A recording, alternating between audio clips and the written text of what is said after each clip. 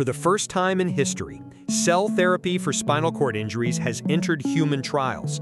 This groundbreaking treatment uses lab-engineered cells designed to regenerate damaged nerves, offering new hope to millions living with paralysis. The therapy involves transplanting these cells into the injured area of the spinal cord. Once there, they help stimulate nerve regrowth and reconnect broken neural pathways.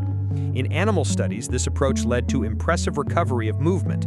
Now doctors are testing its safety and effectiveness in people. If successful, it could mean that individuals once told they'd never walk again may regain mobility. Even more exciting, this therapy may also help treat other serious conditions like ALS, stroke, or traumatic brain injuries. This is more than a treatment. It's a potential second chance at life. Instead of just managing symptoms, we're stepping into a future where the body can be repaired at the cellular level. Subscribe to Timeless Wisdom for more hopeful updates like this. Would you try a therapy like this if it were available? Let us know in the comments.